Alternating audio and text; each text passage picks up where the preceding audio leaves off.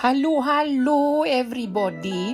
Today, I want to share with you how you can have a good restaurant meal, high class, high class, but not so much money lah. So today, I spent $36.50 Singapore money for a halal buffet at the Grand Hyatt Singapore. Today is 9th June 2022. You can see there is many, many food that we have include big prawns and satay and even the pepper crab. Anyway, the secret is you have to find those 50% discount or one for one.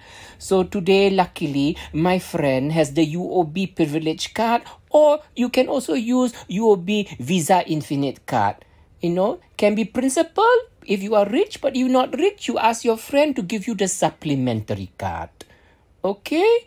Then you can get 50% off if you have two people.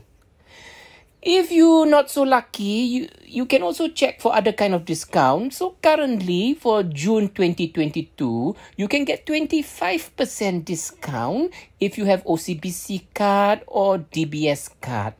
I think these two. Okay, huh? so like this, $36.50, you can have one high class uh, restaurant meal. So maybe one month you can have four, one week once enough already lah, huh? Cukup. Okay, thank you so much. Bye bye.